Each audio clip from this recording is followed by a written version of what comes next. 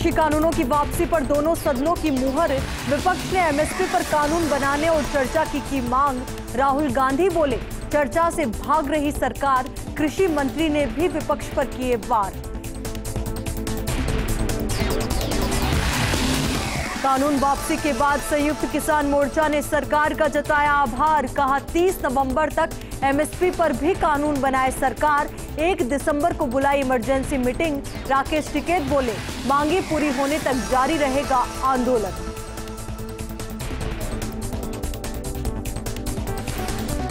Monsoon सत्र में हंगामा करने वाले 12 राज्यसभा सांसद निलंबित।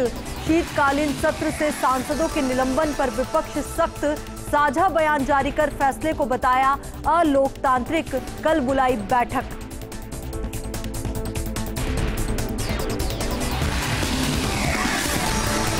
कोरोना के नए वेरिएंट ओमिक्रॉन का बढ़ा खतरा। पीएम मोदी बोले, नए वेरिएंट की खबरें भी हमें और सतर्क करती है। स्वास्थ्य मंत्रालय ने जारी की अंतर्राष्ट्रीय यात्रियों के लिए नई गाइडलाइन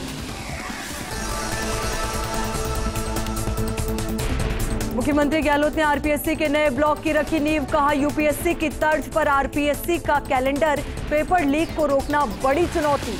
आरपीएससी और सरकार की क्रेडिबिलिटी का सवाल। बिजली सप्लाई को लेकर गंभीर सरकार मुख्यमंत्री की अध्यक्षता में ऊर्जा विभाग की बैठक। बिजली प्लांट्स में कोयले की सिचुएशन और बिजली सप्लाई को लेकर मंथन।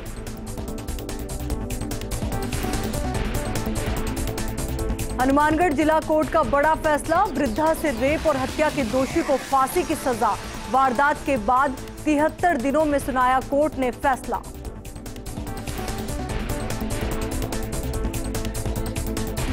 बाड़मेर में स्पा की आड़ में जिस्म फरोशी का धंधा। पुलिस ने स्पा सेंटर पर दी दबिश। चार युवतियों और पाँच युवकों को किया गिरफ़्तार। कोटा और पंजाब पुलिस का जॉइंट ऑपरेशन।